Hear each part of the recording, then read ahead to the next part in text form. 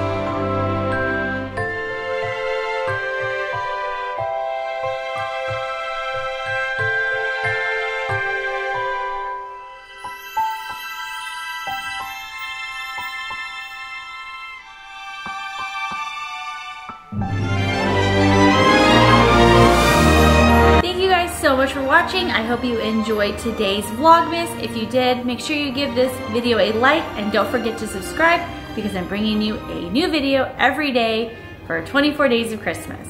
And thanks again so much for watching. Have a Merry Christmas.